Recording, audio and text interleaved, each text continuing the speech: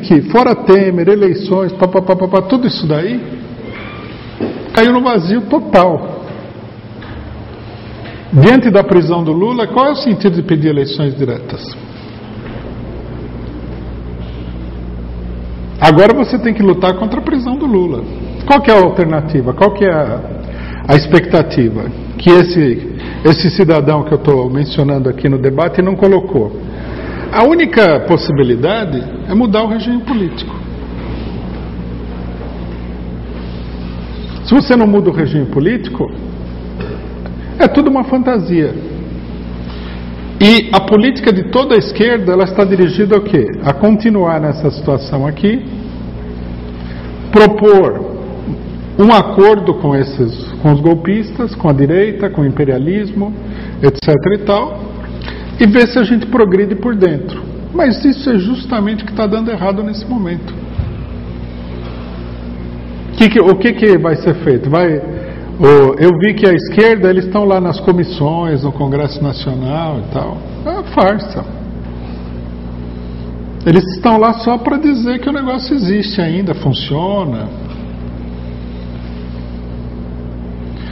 Só para a gente ter uma ideia, para você, isso daí o pessoal não menciona porque é desagradável, é colocar o, o bode no meio da sala, né?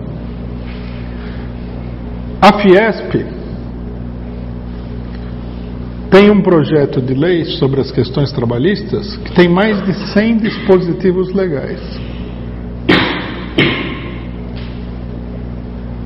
Bom, o que, que a gente deve concluir com isso? 100 dispositivos legais é uma completa revolução no negócio.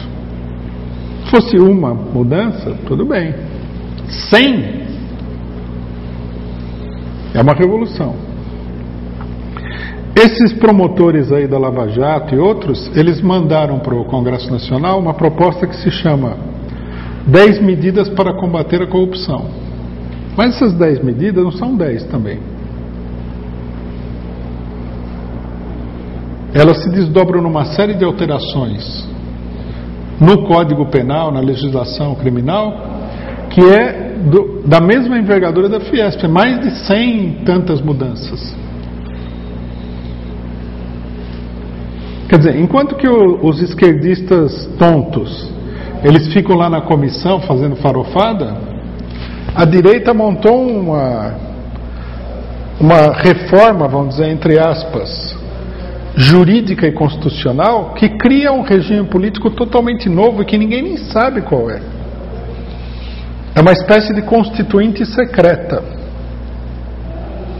Quando eles acabarem, né, a coisa vai ser totalmente diferente do que é hoje. Então você ficar achando que você vai na eleição, que você vai no pedir diretas, que você vai participar no Congresso propondo emenda, que você na eleição municipal você vai arrumar o bilhete para o estudante entrar no, no, no teatrinho de marionete com 15% de desconto, isso daí é uma farsa, é viver a farsa. Está em marcha um golpe de Estado. O principal líder político do país está indo para a cadeia. O comentário nos jornais que eu reproduzo aqui é o seguinte, que o Sérgio Moro está no, nos Estados Unidos, foi, foi visitar a casa dele lá, os, falar com chefes, etc. e tal e que ele vai voltar, vai voltar e que se espera que a prisão do Lula seja decretada até o dia 30 de setembro. Inclusive eles querem fazer a prisão dele na véspera da eleição, que é para ver se eles criam um impacto político também na eleição para diminuir a votação do PT. Então, diante dessas coisas aqui, é preciso romper totalmente com esse cretinismo é, de tipo parlamentar de conciliação com a direita. Por exemplo, fora Temer, tudo bem. É o que a gente falou desde o começo. Não podemos falar fora Temer, mas falar só fora Temer é você se transformar num brinquedo na mão dos outros. Agora, se a gente falar só fora Temer, nós estamos na, numa frente única com o PSDB. temos que apoiar o, o projeto do PSDB lá de inviabilizar o Temer no, no judiciário. Nós temos que falar o quê? Abaixo o golpe. Fora todos os golpistas. Derrotar o golpe. Eleições diretas? Bom, isso daí. Eu não ouvi uma palavra sobre eleições diretas no, nos últimos dias aí. O pessoal ficou tão atordoado que ninguém, ninguém se aventurou. Talvez volte agora essa semana, né? Porque passa o impacto emocional, o pessoal volta para. É que nem drogado, né? Ele tem aquela ressaca, passa mal e tal, mas a hora que passa tudo, ele volta lá. Ele toma mais uma dose e fica vivendo no mundo da fantasia. Mas é evidente que não tem realidade nenhuma. É preciso reivindicar que o golpe seja derrotado, lógico, porque não adianta você propor coisas ofensivas e tal se você não consegue nem derrotar o golpe que você está sofrendo. E é preciso propor uma transformação de conjunto do regime político. E é preciso dizer claramente que essa transformação não vai se dar por acordo, não vai ser no Congresso Nacional nem nada. Se o pessoal está esperando que na próxima eleição as coisas vão mudar radicalmente, estão vivendo uma fantasia. A próxima eleição ela vai ser feita sob regras muito mais draconianas do que esta eleição aqui. Essa eleição aqui, não sei se vocês repararam, ela praticamente não existe, não tem campanha eleitoral. Essa semana aqui um, um companheiro nosso foi distribuir um panfleto na USP. Aí apareceu a guarda é, universitária, entregou para ele um papel que mostrava o seguinte: você não pode distribuir panfleto, vender material, montar banca, nada. E eles se apoiavam no quê? Na lei eleitoral. Não sei se todo mundo sabe, mas você não pode fazer campanha eleitoral dentro das universidades públicas, que são os maiores centros de discussão política que tem no país. Quer dizer, não pode distribuir material eleitoral, você pode fazer um debate. Quer dizer que o negócio está sob o controle da. tem que fazer com autorização da reitoria, essa coisa toda. Não tem campanha eleitoral. Tá, praticamente está proibido em todos os sentidos. Não tem nenhum cartaz na rua. Você viu que eles, com uma malandragem, cidade limpa, isso, não sei o que, não sei o que lá, não sei o que lá, acabaram com toda a propaganda de rua. Isso aqui parece assim um país de filme. Sabe aqueles filmes onde está proibido pensar? O máximo que você pode fazer é colocar num carro um adesivo do, do deputado. Não pode fazer isso, não pode fazer aquilo, não pode fazer aquele outro. A campanha é feita pelos meios de comunicação dominados pela burguesia golpista. E aí a gente sabe como é que é, né? Aí é, debate é só com o candidato que tem não sei quantos parlamentares. Aí, se eles quiserem acrescentar Luiz Erondina para atacar o PT, eles acrescentam Luiz Erondina e assim vai, né? A própria Luiz Erondina, que entrou com a maior ilusão na eleição, e agora está lá embaixo no, no negócio eleitoral. Caiu a função dela meio que ficou desperdiçada, né? Agora está com 5%, vai terminar a eleição com 1,5%. E eles, esses aí é que são os mais entusiasmados das eleições, não vão ganhar nada e estão nesse negócio aí. Então, quer dizer, o movimento contra o golpe, os trabalhadores da juventude, tem que rediscutir todo esse problema, né, no sentido que a gente vem colocando desde o início. Isso, isso é também um processo natural, porque pela base da experiência que as pessoas vão comprovando quais são as possibilidades, quais são as políticas que podem ser seguidas. Isso aqui acabou. O pessoal estava na maior ilusão. Né? Uma, outra, uma outra ilusão que a gente deve destacar é o seguinte, que eu acho que é uma ilusão gravíssima, que você não tem que lutar contra o golpe. Você tem que lutar contra, por exemplo, a terceirização, a reforma da Previdência. Agora, contra o que nós temos que lutar exatamente?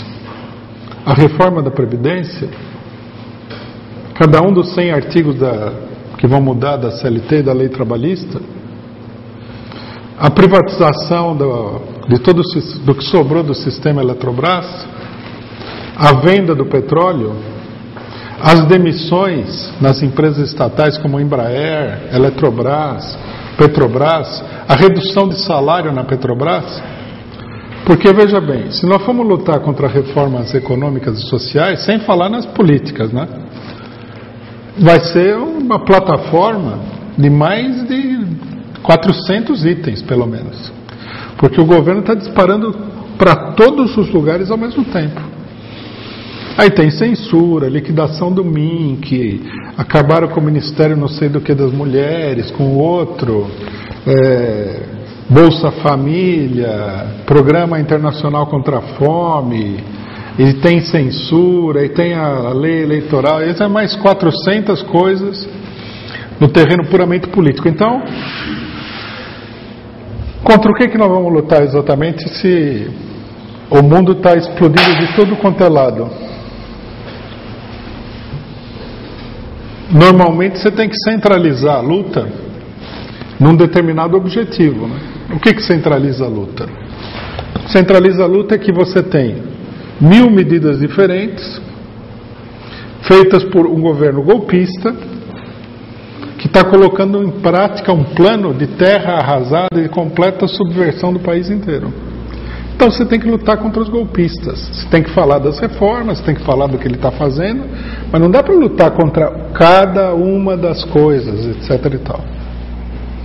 Até porque, veja bem, né? Isso daqui eu acho que é uma coisa muito importante para definir a política. Porque tem muita gente que fala isso daí. Que o problema é lutar ali, mobilizar o trabalhador no sindicato, etc. e tal, para lutar contra esses ataques aos trabalhadores em cada lugar. Né? Um problema que nós temos aqui é o seguinte: os trabalhadores não estão conseguindo lutar contra isso. É uma coisa muito óbvia. Com exceção do PSTU que está vendo revolução no Brasil, não sei se é um filme, o que, que é, mas só eles que estão vendo isso. O que nós estamos vendo é o seguinte: teve PDV no ABC, não conseguiram controlar. PDV na Embraer, PDV na, na Petrobras, agora querem reduzir o salário dos trabalhadores da Petrobras. Então, quer dizer, e, e vocês vejam o seguinte: que eles vão rodando o espremedor e não, não há reação. Um caso que é, que é interessante nesse sentido é o que está acontecendo aí com a greve do Correio, com a campanha salarial do Correio. Campanha salarial do Correio. O... Fizeram todo um. Teve gente que chegou ao extremo, né? Eu olhei isso aí e falei: é, tem, tem louco para tudo no mundo. De falar que a greve do Correio ia derrubar o Temer. Aí aplicaram no Correio a política que é a política que parece que está vigorando na CUT hoje, que também vai demorar um tempinho do pessoal cair a ficha de que essa política não vai dar em lugar nenhum, que é unidade de todo mundo contra o, os patrões. Porque se tem uma fórmula maravilhosa que dá certo em todas as situações, né, é a unidade de todo mundo. O que, que poderia ser mais lindo do que a unidade? Todos juntos, né? Juntos venceremos, uma andorinha só não faz verão, etc. e tal. O único problema dessa fórmula é que, embora ela seja maravilhosa, ela é muito difícil de ser colocada em prática. Porque o movimento operário, popular, etc. e tal, está cheio de traíra comprado pela burguesia. Tem vários setores conservadores, então você precisa fazer das tripas coração, coração para conseguir aí um mínimo de unidade nas situações. Então alguns inteligentíssimos aí falaram, não, no correio nós vamos unificar todo mundo e vamos derrubar o Temer. Só que tem um detalhe. Nesse unificar todo mundo, tem uma parte do pessoal que é do Temer, que é da direção da empresa. O Correio nós tivemos na direção do Correio, a gente tentou extirpar essa ala que é totalmente subordinada à direção da empresa. Não adianta fazer aliança, você vai fazer aliança com